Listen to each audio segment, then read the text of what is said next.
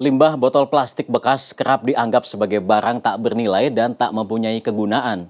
Dengan berbekal inovasi dan kreativitas seorang ibu rumah tangga di Kabupaten Bandung mengubah botol bekas menjadi barang bernilai ekonomi. Tak hanya menjual karya seninya di masa pandemi seperti ini, ia memberikan pelatihan untuk warga sekitar agar membantu dan meningkatkan perekonomian.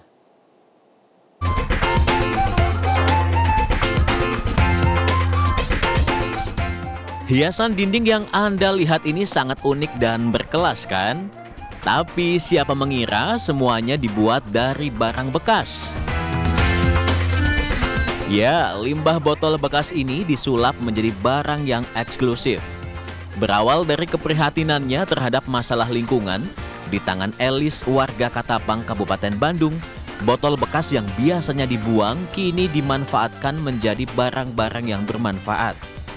Tak hanya itu, dengan adanya pandemi ini, ia pun memberikan pelatihan untuk warga yang ingin menambah penghasilan. Iya, awalnya kan saya minum air mineral, udah gitu uh, botolnya kan banyak. Karena saya mikir sampahnya banyak banget gitu kan.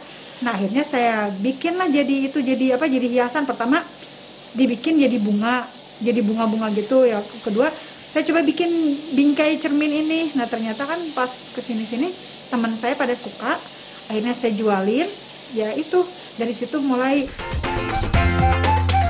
Pelatihan pemanfaatan limbah botol ini pun disambut dengan antusias oleh warga sekitar. Selain menambah ilmu, pelatihan ini pun membantu perekonomian karena hasilnya dapat dijual.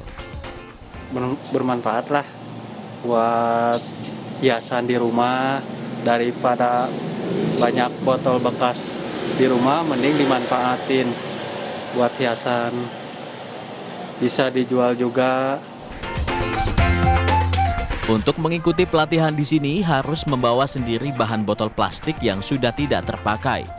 Biasanya mulai dari tahap awal hingga bisa dibutuhkan tiga kali pertemuan. Dan yang paling penting, para warga sekitar yang mengikuti pelatihan tidak dipungut biaya. Dian Permatasari, Kabupaten Bandung.